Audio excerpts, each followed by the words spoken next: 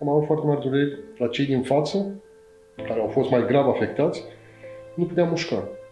Și dureri, dureri, dureri. Boala a fost de așa natură că nu mai rețin, dar efectiv am rămas cu ei nu știu în ce. În pâine sau ceva de genul ăsta, i-am luat, i-am cules, i-am plantat înapoi, pentru că așa s-a întâmplat.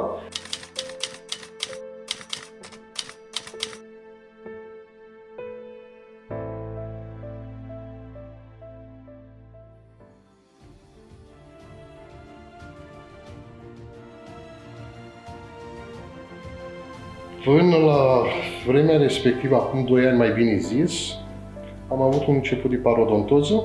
A fost tratat mai mult sau mai puțin în Germania.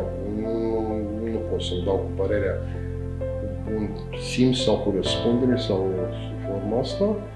A agravat boala și la indicațiile uh, unui coleg mi s-a propus du-te la Chișinău.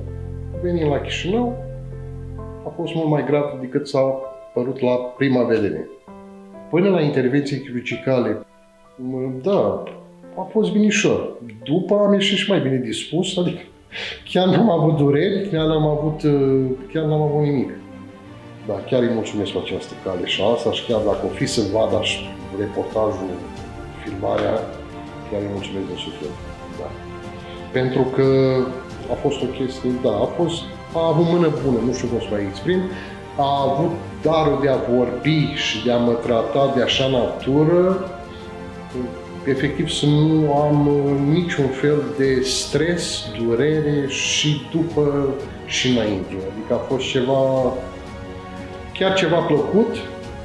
Eu, din punctul meu de vedere, în momentul de față, dacă ar fi, nu pentru niciun avantaj, dacă ar fi să recomand pe cineva așa asta, da, aș face cu ceva mai plăcere, pentru că știu ceea ce am făcut eu aici.